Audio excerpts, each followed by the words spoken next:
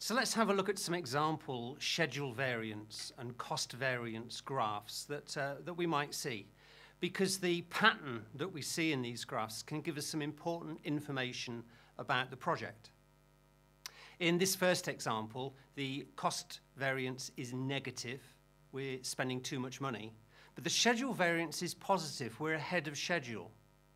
Now, these two things could be linked. Uh, are we actually working overtime when we don't need to? Uh, workers very often like to work overtime to get that extra money, but in this case, we're ahead of schedule. We don't need to. We are over budget. We need to save some money, but it's okay. We've got time. We can slow down our work. Maybe we could bring something in from a contractor that's expensive, do it in-house where it's cheaper, because we need to save some money and we need to slow down the work. We're ahead of schedule. In this example, it's the opposite. The cost variance is positive, the schedule variance is negative. We're falling behind on the schedule, but we're not spending money fast enough. We're underspent. Now, if you see this happen on a project, it could be an indication that the resources are the issue. If the resources aren't available, they're not doing the work, and if they're not doing the work, they're not getting the money. So these things could be related. This pattern in your cost and schedule variance graph could indicate a resource issue. Now, in this case, the cost variance and the schedule variance are both positive, which means we're under budget and we're ahead of schedule. Now, some project managers think this is an ideal place to be. However, I would argue that finishing early and under budget is not finishing on plan, and a project manager should finish on plan. If you finish early and under budget, the senior manager is going to have a surprise, Maybe he could have used the money for something else. Maybe he hasn't got anything for resources to do because you finished early and everything's wasted. So if your cost and schedule variance graphs are doing this, you're ahead of schedule, you're underspending. Have you forgotten something? Um, have you not entered a cost? Were your original plans too pessimistic? So this is going to give you some learning for the next project to be a little bit more optimistic. If we're not careful, if we finish this project early and ahead of schedule, next time we do a project, the senior manager will cut our budgets and our time. This final one is the disaster scenario.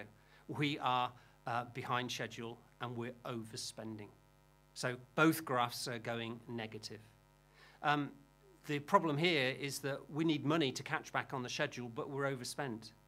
Uh, we need to save money, but we're behind schedule if your project is showing these sorts of characteristics, we need to go and speak to the senior managers. Really, the only way of getting this project back on plan is perhaps to delete some of the functionality, remove some of the tasks, or to ask for more budget or more time to do the project. But at least, you know, we're only a third or halfway into the project. There's time to take corrective action. And this might be a typical project. Look, it doesn't really matter where the cost and the schedule variance graphs go, as long as they end up at zero, which means on plan. So in this project, initially too little money was being spent and we fell behind schedule, uh, but we noted it, we sorted out the problem, we allocated the correct resources, and we got back to plan. So we need these information, the schedule variance and the cost variance, to really understand where we are on the project. In one of our previous examples, we had um, a budget that said £42,000 and an actual that said something like £60,000. So if your plan is to spend 42 and your actual is 62, that sounds like you're £20,000 over budget. The missing piece of information is the value of the work that has been achieved, the performance or the earned value. Now, if that, for instance, was £52,000, then our schedule variance is the difference between the budget and the earned value, plus 10. And the cost variance is the difference between the actual and the earned value, negative 10. So reporting on a project that says I've actually spent 62 and the plan was to spend 42 doesn't tell you how much work you've achieved. Saying that the schedule variance is 10 positive, I'm ahead of schedule, but I'm a little bit overspent, 10 negative, sounds a much better situation to be in. So let's define some of these terms. The budget is the same as the plan. It's what we think we're going to be spending on the project. The budget of completion will be the total authorised budget. The actual is how much you have actually spent as you go through the project. The performance is the same as the earned value, it's the same term. It represents the value of the work that you have completed. So in the previous example, how many bricks have you done? What's the value of that work? That is the performance or the earned value. And that can be different from the budget, it could be different from the actual. Now, the schedule variance is the difference between the earned value and the budget. So it's the performance minus the budget. The cost variance is the difference between the earned value and the actual. So the performance minus the actual. I'm now going to introduce some different terms for schedule variance and cost variance and earned value. And I'm doing it for a good reason, as you'll see in the next slide. Um, sometimes you relate the budgeted cost of work schedule. That's the plan, the BCWS. Or we could talk, about the cost of work performed, the earned value, the value of the work, the BCWP. Or we could talk about the actual cost of work performed, the actual cost, the actual costs, ACWP. The reason for introducing these terms is that if you go to Microsoft Project, you can actually switch on the earned value tables. And in the database of Microsoft Project, you will see columns for BCWS, BCWP, ACWP, the budget, the earned value, and the actual. And Microsoft Project can calculate the schedule variance and the cost variance. And you'll see there there's uh, EAC and VAC, which we'll look at in a minute.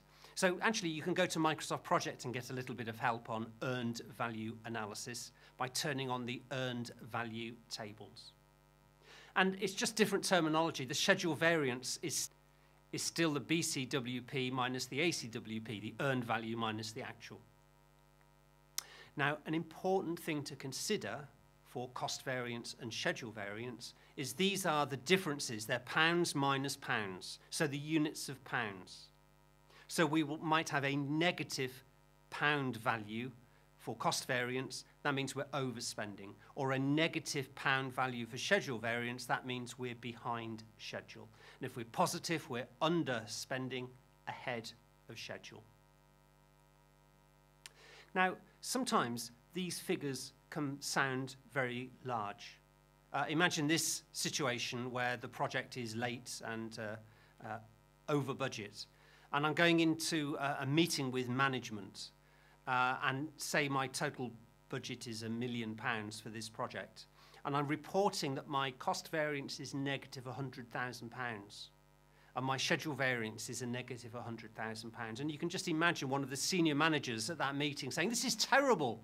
£100,000, you're fired. It sounds really bad. A way of avoiding this, of cheating the senior management, is not to subtract the figures, but hide the sizes by using the, the relative performance, divide them. And this would give us a cost index and a schedule index, where one means on target. So instead of the schedule variance being the performance minus the budget, we say the schedule performance index is the performance divided by the budget. Now, these would be pounds divided by pounds, so these are ratios. And a ratio of one means we're on plan. The cost performance index is the earned value divided by the actual. Now, going into the same management meeting on my million pound project, reporting the same project at the same status, I don't say my cost variance is negative £100,000. I say my CPI is 0.9. My SPI is 0.9. Point nine, say the senior managers, very good, carry on. It's the same project, but it just hides that, that tension of having £100,000, which is a lot of money. Now, the ETC is the estimate to complete. Uh, the senior managers will be very interested here because you're halfway through the project. They're going to say, How much money to finish? Especially if you're over budget already. They'll say, How much money do you need? What's your ETC, your estimate to completion? Uh, another one is the EAC, the estimate at completion. So, what is going to be the total amount? And we can calculate this estimate at completion in different ways. And uh, if you have a look at the seminar that we do on earned value analysis, we will go through a project looking at its actual and its earned value and its budget through its months. And as we go through the project, different methods for calculating the total become more or less accurate. For instance, at the start of the project, the only thing we have is the remaining budget. There is no actual. So the estimate at completion will be anything we've actually spent plus the remaining budget. Uh, towards the end of the project, this second method becomes more accurate because it's what I've actually spent and the estimate to complete. And then there's two methods to use the CPI. If my current cost performance index is 0.9, I can say, well, my estimate at completion is my original budget divided by that error factor, 0.9. And I can use the current cost performance index, or I could use a forecasted one based on information I know about the future forecast costs. The VAC is the difference between the budget at completion, the plan, and the actual completion target.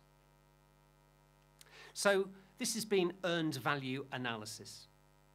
Uh, it's only required on certain projects. On small, low value projects, it's not going to be required. But once you start working on big projects or working for customers that insist you do earned value analysis, then it becomes more important. Uh, I've seen government projects that insist on earned value analysis.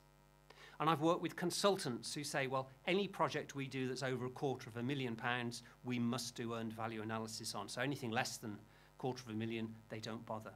So short-term, low-value projects don't require earned value analysis.